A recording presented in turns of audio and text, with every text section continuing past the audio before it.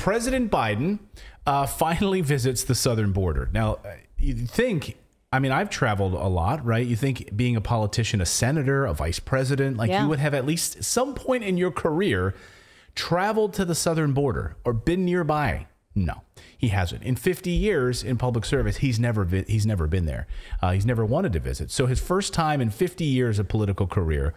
Uh, we'll show you this whole charade, this whole dog and pony show in just a second. Well, in 2001, Jen Psaki said he was near there. He drove by it. He drove by it. Okay, really? so show that's me. the same. Really? Uh, Well, so he was in Arizona not too long ago, and I think you can see the border from there, can't you? Kind of like if you look, you can see the mountains. That I are think in if you saw the from where he mountains or something, yeah, you could see it. Anyway, we'll So get to the technically, I mean, Yeah. So anyway, we'll get to the whole dog and pony show charade here in just a second. But there is a myth I want to tell you about. It's called the Potemkin Village. Um, it dates back. It dates back. It dates. Excuse me. Let me try that again. It dates back to Catherine the Great. Um, her her time in Russia. Uh, there is Catherine the Great. Um, the Empress was going to visit Crimea and other cities at the time. The legend goes that the Prince Potemkin freaked out because it was such a hastily called trip that he sprung into action and he had fake villages created, fake houses, uh, fake churches, like a Hollywood set, you know, like beautiful homes. Uh, but like the Three Amigos. Exactly.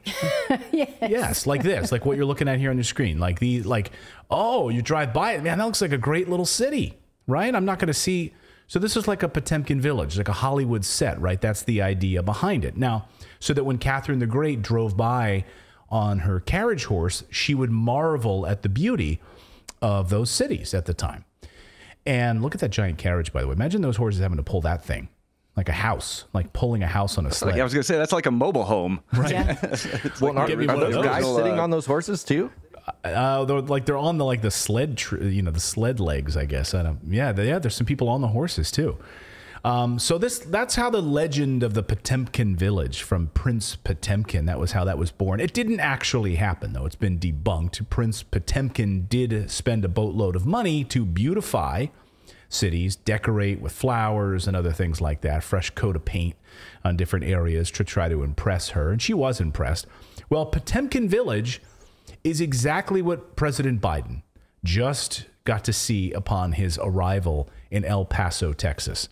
Um, so reports were from a number of members of the uh, the border patrol that they were cleaning up mass migrant camps ahead of the visit by President Biden. All these streets where there were all these camps cleaned up before his arrival. Officials went around, kicked out illegal immigrants, which is arguably what they should have been doing from the beginning. Well, they didn't have a lot of time either because we No. couldn't even confirm this trip until the end of last week. So they were rushing this is a lot of people who were moved in a short period of time. My question is to where, under what conditions? Well, hundreds of them, they- uh, hundreds of them were already sent back, sent to Mexico. So, okay, wait a minute. So the president's arriving, and then they took o- over 200. We at least have one report of over 200 shipped out, rounded up by the border patrol, and sent back to Mexico because the president was coming. Go ahead, David.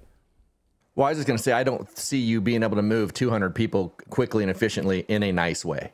No, Yeah. no, yeah, no, no, no, no. And of course, a lot of this stuff was just picked up, thrown out, like all their belongings picked up, cleaned up, thrown out, power washed down. You know, nothing to see here. Even local news found out about his schedule and then reported that the president was skipping areas where immigration or where immigrants were uh, sleeping on the streets. Illegal immigrants were sleeping on the streets. So the roadmap basically was set to avoid all of those areas. They didn't, he didn't want to see that. Watch. All of these locations are on the itinerary that we received from the White House. Didn't look like he was going to be headed to downtown El Paso, which is where we had seen many of the migrants who had uh, been living on the streets of Segundo Barrio. Yeah. So they weren't even going to go by those areas. Uh, the clock started ticking though the moment he landed in uh, in El Paso. He stopped. He stopped in El Paso for about three hours, a really short period of time. Governor Abbott then met with him at the airport and uh, handed him a letter. So here he was meeting Governor Greg Abbott at the airport, and then he pulls out a piece of paper and serves him with papers. Here are your papers, Mr. President. I want you to read this. And, and, you know, I'll, I'll, I'll look at it a little bit later. I'll look at it a little bit later. So what did it say? Well, it was actually a long letter. Here, uh, Governor Abbott explains exactly what he handed to the president. Listen. So, listen. The, the president who caused the chaos of the border needed to be here. It just so happens he's two years and about $20 billion too late. He needs to step up and, and take swift action, uh, including uh, reimbursing the state of Texas for the money that we spent, but providing more resources for the federal government to do its job. Also, this is nothing but for show unless it begins to enforce the immigration laws already that exist in the United States of America that are contained in the letter that are provided to the, the president today. What did he say to you? What did the president say to you? He said he wanted to work with us on it. So he was pretty cordial. So what did the letter actually say? So here we have a copy. Of, we have a copy of the letter that he handed to the president. Your visit to the southern border with Mexico today is twenty billion dollars too little and two years too late. And that's a good way to start a letter. Mm-hmm. Moreover, your visit avoids the sites where mass illegal immigration occurs and sidesteps the thousands of angry Texas property owners whose lives have been destroyed by your border policies. Even the city you visit has been sanitized of the migrant camps which had overrun downtown. El Paso, because your administration wants to shield you from the chaos that Texans experience on a daily basis. The chaos is the direct result of your failure to enforce the immigration laws that Congress enacted. So Biden walked around, did a whole little dog and pony show. He met with law enforcement for a few hours, checked out points of entry. Uh, border guards uh, showed around the president, showed how they were searching vehicles. Uh, they set him they set him up on a fenced off parking area, on a parking lot. They showed a pretend version of what they do. Watch this. So this is this is amazing. Listen to CNN describe it as a show and tell operation, like my first grader might do in school. Watch this. This is all fake. of uh, the president there. He's it looks like he's getting a, uh, a little bit of a show and tell there from uh, border officials. Uh, they appear to be demonstrating what looks like uh, you know a typical search of a car that might come across the border and, and what uh, law enforcement officials are doing there to uh, keep the flow of drugs uh, coming into this country uh, from uh, Mexico uh, to a bare minimum. And so the president there doing that. Let- Let's uh, turn now for some perspective on this. Uh, join me now, Democratic strategist James Carville, uh, former Republican. I mean, Oh, and then you take the suitcase out there. That's good. Yeah. And then you walk around with the dog. I mean, they did choose a very likable breed, you know, and so everybody likes a golden lab. You I mean, can- this is the kind of garbage, but like a dog and pony show. Like he's getting a little show and tell. So we've totally sanitized everything here for the president. So he's not going to actually see what what actually unfolded. He's not going to. He's not going to the, a lot of the different points of entry where where illegal immigrants are coming across the border. Yeah. He went to a parking lot and had a fenced in experience. uh, who built that fence? Trump. Yeah.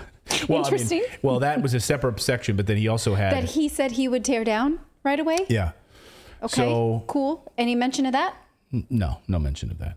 Okay. But of course, this has all been planned, right? I mean, this is the you know the joke is the reason he hasn't been there in 50 years is because well, this has been part of the plan while he was vice president and beyond. I mean, this is all part of the immigration plan to fl- flood the United States with you know millions of illegal immigrants.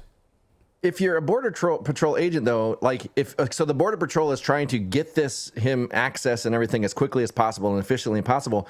If they're actually needing the money and everything then why would they be complicit with hiding everything? Like are there some border agents that are pro Biden that are willing to hide things and some that aren't is there a battle there or like why were they so complicit with hiding it if they need funds and they need things I would love to know who did the sanitizing, the cleaning. Like I don't know that that's the the border patrol, you know, the, the CBP Or the state of Texas, because it doesn't was seem it? like Greg Abbott would have authorized the funds out of state coffers to do this. to go and sanitize and like we got to and then, Yeah. you know, accuse the administration of doing it. Uh, right. I mean, Yeah, maybe like- I'm giving him a lot of credit, but at the same time, I don't, you know, why write a scathing letter about how you didn't see things? It was all cleaned up by your administration.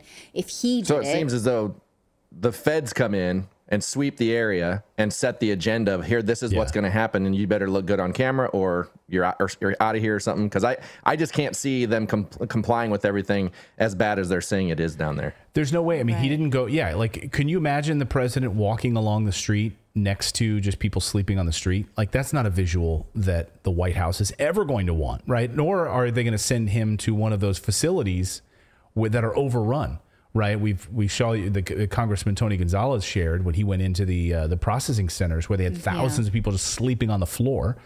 And the disaster that unfolded there, like they're not going to send the president there. They're not going to have any optics where he's next to an illegal immigrant. None of the optics, Right. none of the visuals, But none of the cameras were there. From a security standpoint, there is no way to secure something like that when there are like mounds of sleeping bags. You can't. You- right. you Well, that's why can't. they kept him. I mean, this is that's again why this is just a joke, right? Because you know, they and they keep him in this fenced-in parking lot. So he goes to like one of the he goes to one of the uh, law enforcement centers and he's in a parking lot doing a little dog routine in the trunk of a car. Like that's I'm at the border. No, you're not. No, you're not. Maybe you should go where the actual problems are, and you can actually see the points of entry. Um, you know, President Trump was slammed, mocked, you know, mer- you know, mercilessly by by the left for going down the border all the time. And he would go along the border. He would meet with property owners and stuff. So whatever you think about Trump, he was down there a lot. Yes. and was constantly meeting with different border uh, at points of entry, talking to Right. the border patrol about how they're getting across, and and trying to really understand all of that. Well, but if Well, the, it also if, seems. sorry, go ahead, Natali. if the Democrats was going to say wanna- also.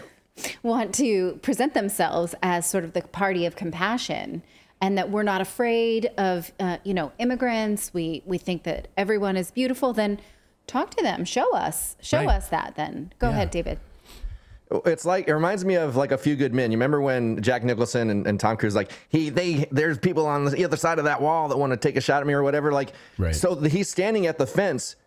There's got to be you know a danger of people. There's no security around him at that point. So I wonder if they had to go into Mexico and secure that whole area too, or if this was all staged because they're going to have the president of the United States standing at a border wall with no protection on the other side. You Oh, know, yeah, like the whole th- thing is- none of it makes sense. Well, and the, that's the thing about the whole, you know, again, any of these, and I've covered the president presidential events where I've been there, and they they do the sweep like two weeks ahead of time, and they come back, they're doing it you know, hours ahead of time, days ahead of time. Yeah. They have people up on the building, snipers everywhere. Like this isn't like a hastily called thing. The fact that they had the map mapped out, that, that the governor even knew the direction and cities he was going, again, just all a charade. But again, Well, and that's why, like, my point is, like, CNN. You you know that they've been responsible for doing fake coverage. It's like my my brain goes to they probably built that little fence area in the middle of the desert in a surrounded area, protected area, and that weren't even border patrol agents. Because I just don't understand how border patrol agents wouldn't be trying to get the funding and things that they need and be more adamant about that stuff. It just none of it makes sense. It just seems like a a PR stunt is 100 percent all it is. Well, we heard from another uh, border patrol agents who said like you know it's just demoralizing. Like it's just demoralizing. That, Yes. You know.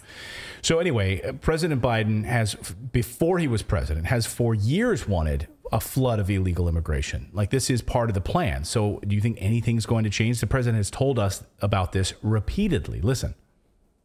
an unrelenting stream of immigration, nonstop, nonstop. Folks like me who were Caucasian of European descent, for the first time in 2017, will be in an absolute minority in the United States of America. Absolute minority. Fewer than 50% of the people in America from then and on will be white European stock. That's not a bad thing. That's a, that's a source of our strength. Yeah, it's a source of our strength. So, you know, Brazil Bush in the chat, or Luke, uh, someone that's in the chat in on Rumble says it's a green screen. yeah a few people are saying that Yeah, like like Zelensky's. I mean, this is it's it's a it's a it's a playbook right out of Pyongyang. You know, it's a it's like such a North Korean s- thing to do. Like, oh, somebody's somebody important is visiting. Let's hide everything. You know, Yeah. get some paid actors to walk around, pretend to be working, and it's just it's just ridiculous. I mean, it's amazing. If you were president of the United States, eh, would you be that uh, un uh, unaware?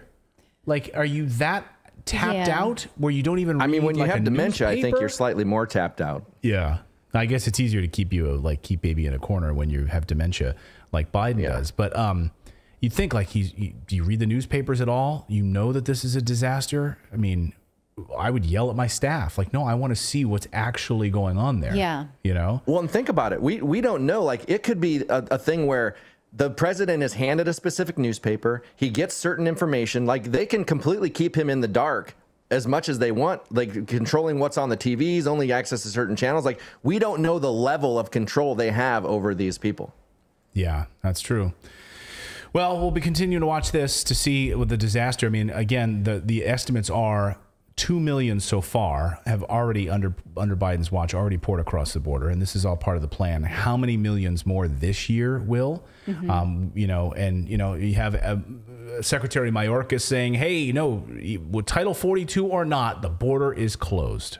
The border is closed. Okay. Thank you so much for watching this segment here at Redacted. We are live every day at 4 p.m. Eastern Time, trying to share the stories that the mainstream media will not cover. You should also come over and join our community of Redacted Rebels over at redacted.inc. That's our private locals community where we can share exclusive content that we simply cannot share here on YouTube. Come over and join the rebellion together right now by going to redacted.inc. We'll see you next time.